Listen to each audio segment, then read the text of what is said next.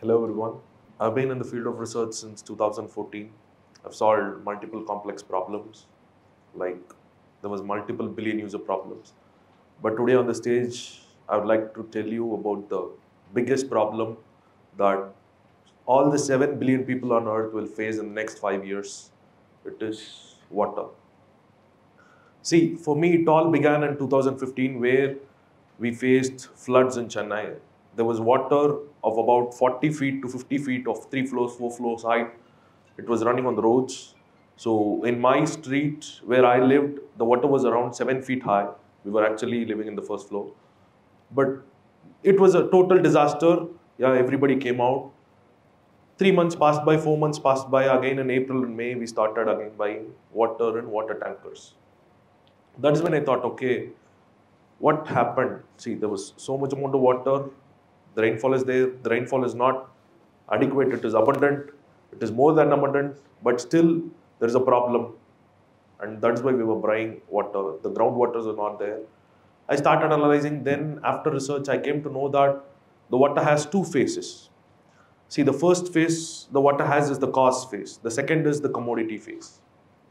If you see, all the problems that the United Nations has told in the Sustainable Development Goals that we need to take care of the next 10 years, five of the top problems is because of water. The main problem for poverty for the people is water. 2.2 billion people on planet Earth out of 7 billion people live in poverty. They don't have access to fresh water. That is actually 9.2% to 9, 10%. The study has done by United Nations. And the diseases, because of lack in sanitation, because of lack in water, because of not hygienic water and clean water availability, the people face diseases. There is no water to grow food. The food we are eating, it needs water. It takes 5,000 liters of water to cultivate one kilo of rice. So, than we consuming, there is more necessities. The ecosystems are there, the marine ecosystem, the trees, plants, everything. So, it needs water. So, ultimatum problem for everything was water. And the second thing is commodity. Okay, in one side, the water is causing all these problems. In the second side, water is treated as commodity. If you see, this is actually fascinating. So, whoever trades on stock, start trading on the companies who are involved in water or water treatment or related to water because they are increasing, their stocks are increasing very rapidly at rate of at rate of 9 to 10% every year. If you see the scale of gold, in 1980, 8 grams of gold was only 1330 rupees. As on two weeks back, it's 52,000. So the increase in percentage is 3,960%. The oil was around 1,200% increased. The gas is around 1,800%. Whereas the water in 1985 or 80s, we don't have the water bottles. It has actually emerged in 1995. Whereas if you take the commodity as water, it is increased by 10,000%. The least water bottle that is available is of 20 rupees. And we don't mind even spending 100 rupees or 150 rupees for a natural mineral water. It even ranges to 5,000, 10,000, 25,000. So if we see, then we analyzed what is the cost. So if the, the water is actually a cost, water is actually a commodity, then what is the phenomenon that it is actually turning water? Then if you see, the actual phenomenon is pollution and wastage. All the 70% of water bodies across India, 351 rivers are polluted. 72,000 million liters of dirty water is being sent into the rivers, ponds, lakes, whatever you see every day is from industries. 6.2 billion liters of common wastewater is being utilized by humans, like we throw. On an average, a person contributes to 50 to 60 liters of water every day. So, with all this water pollution, what we are planning is there is wastage on one side, there is pollution on one side, and what is the solution for those phenomena is for pollution, it is purification. So yes, obviously, if there is water polluted, you need to purify. The second is for wastage, it is control. And then we found out the purification is a technology that is existing since 1808 by Robert Thom. So he was the first one who has invented the modern day water purification system. Since then, there was multiple technologies that has come into picture. As of 2022, there is 30 plus technologies for water purification. It is existing, it is still there. Many were practically implemented, but still the water was not purified. It remains there. In 2017, we and my scientists from Israel, India, Germany, so we were actually collaborated. Uh, we had started a department called as water in our organization, and we started doing research on the purification technologies of water. Then we found, like, we tried multiple methods. We tried chemical methods, we tried bacterial methods. We started culturing our own bacteria, but it all failed. Then we inspired one thing that is social network. See, social network is where we can make friends with anybody, right? So then we inspired this concept and we cultured a bacteria where the microbial bacteria that we put inside the dirty water starts making friends with all the chemical and biological antibodies and then it will convert everything into sludge.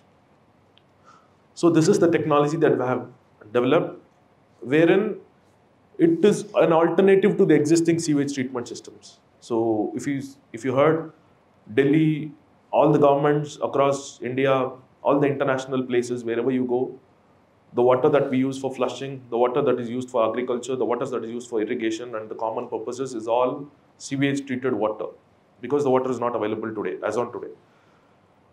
Then what we thought, but that is not so effective. So we have implemented this system wherein the footprint of this, the advantage of this is like the footprint that is required to treat this is only one fifth. And the existing sewage treatment systems that are implemented is not enough to purify a large scale of water body like a river or a stream or a large reservoir. Whereas with this system, it was possible. We had around 10 hours, less than 10 hours of retention time. The energy consumption was three times lesser than the existing ones. And then in the next thing, what we do is like we started comparing this process with the existing process that has been implemented across India and nations. So if you see the activated sludge process or the microbial batch reactor and the sequence batch reactor, they all had some constraints, whether it is on manpower, whether it is on skilled labor or machinery. So we started overcoming everything.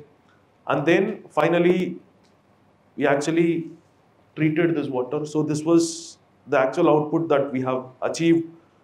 We have taken the water from the most polluted river, which is called as Cooum. It is in Chennai. So we take we had taken the water and then we started comparing it with the existing processing technique and our processing technique. We have achieved biggest results in it. So if you see that is the slide for that is the results of the raw effluent wherein the standards that has been given by the NGT is like you need to have the COD and BOD less than 10 and 50, where we have achieved a BOD of 6 and we have achieved a COD, chemical oxygen demand of less than 30. The suspended solids was negligible and the fecal coliform, the government has said that the practical version of the reduction of fecal coliform, like the limit can be around 200 or 100 million parts per uh, 100 million parts whereas we have achieved to less than 2 million parts. And the next thing what we are planning is, see till now as a scientist, we have created a technology for purification, but there is no technology that cannot, that cannot be created for water control. See, if you want to stop the wastage of water, you need to control. If we stand 20 minutes in a hot shower, it takes, I mean, we contribute to around 50 to 100 liters of water. Just reducing one minute in your hot shower will save 20 liters. We are having water bottles. We start drinking water bottles. We drink half a bottle. We leave it that water bottle. So like that, on an average, a human contributes two liters every day. If you're going out, you, you take a sip, you leave a water bottle or you leave a glass. So you stop that and the next thing is if you leak, if you have a leakage tap in your home, it contributes to 4 liters every night. So you have your leak tap, you go, you sleep, come in the morning, you see the 4 liters bucket will be full. See, till now what what all we have did is something like we were escaping from the system. We have not, we are going towards extinction. That is the actual truth. There was three types of people. I would like to end this with a small story. There are three types of people. One is called fool, one is called wise, one is called smart. What the fool did is, he did the mistake every time. So every time he did the mistake, he didn't learn, he repeats it. The second thing is wise. He did a mistake, he understands that it's a mistake, and then he didn't repeat it. The third is smart. He observes the mistake and then he never commits in our life. We were fools till now because we didn't say water. Like it actually is turning into biggest commodity. 15 years ago, nobody would have thought that we would have we would have water purifiers, we would be buying waters, water bottles and everything. But now around 1000 to 2000 rupees we'd be spending every day on water. There's actually it can be around 1% or 2% of income. In the forthcoming years, it will be in a hyperbolic curve, it will be in exponential rise. You'd be spending around 30 to 40% of your income on water. The water meters will be coming, they'll be calculating every drop you spend. Like it'll be the costliest commodity more than whatever the commodity you see, whether it is oil, gas, gold, real estate, or anything. Our ancestors has given us the clean water to live, to drink. They have given us the clean nature. The only thing that we can give, or it is our responsibility that we need to deliver the same to our next generation because whatever the facilities that we may give in, it all lasts for lifetime. Like it may or it may not last for lifetime, but the water and the nature will be actually deciding the future they live in. If it is not worthy, then it is not worthy. You can buy a bungalow at the prime place, but after 10 years, if there is no groundwater, then it's of mere waste. So what I urge everyone is industrially, there has been certain technologies that we can implement, but we need to bring a water discipline in ourselves because if it is not now, it is going to be never.